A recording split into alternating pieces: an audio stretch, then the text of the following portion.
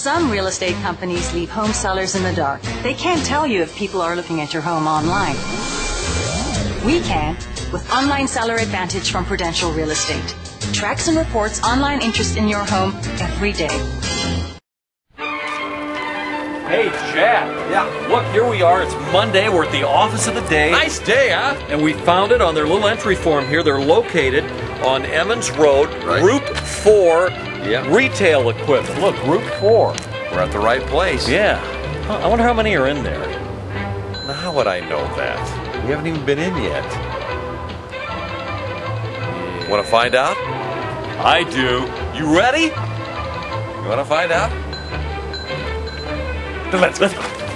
They give you some money. We have money. Yes. We got ten bucks a piece for you. There would have been more, but we stopped at the liquor store. You know it's Monday.